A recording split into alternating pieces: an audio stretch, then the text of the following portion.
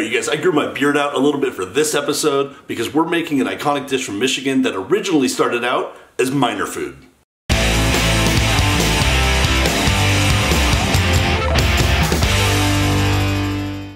What's up, you guys? Welcome back to another episode of Coast to Coast. Today we're making an iconic dish from Michigan. Originally started out in Cornwall, England. We're making the pasty. It's essentially just a meat pie with steak, potatoes folded into a nice puff pastry and baked. Uh, miners used to take these, heat them up, wrap in foil, stick them in their pocket, take them to the mine. Let's go check out how to make them.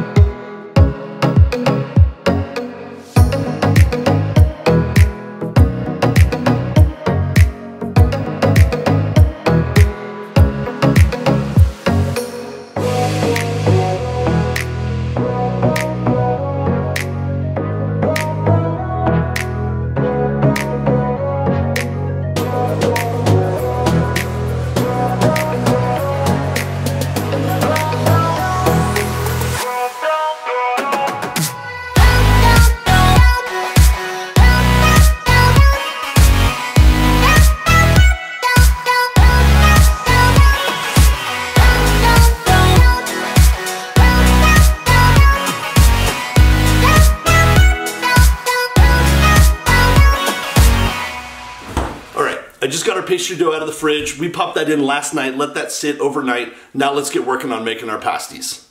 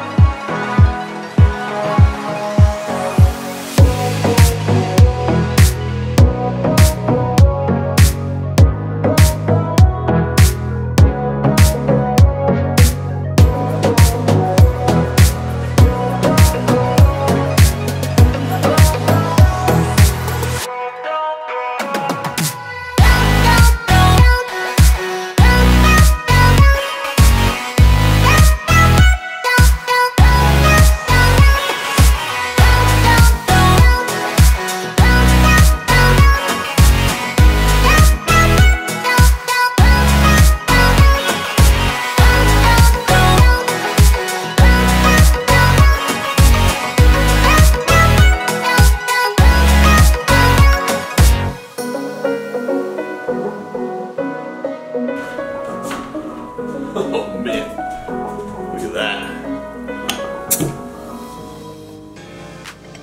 All right, these last couple episodes, I've used a lot of lighter beers, like some pilsners and things, uh, because we've been cooking with seafood.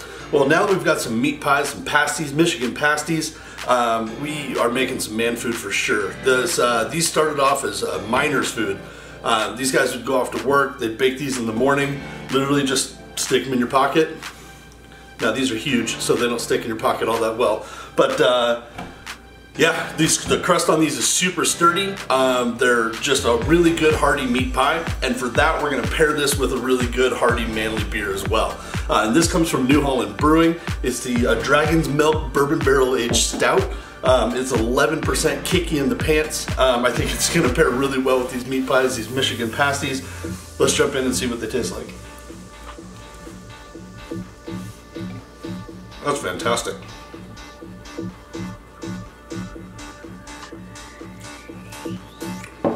Woo!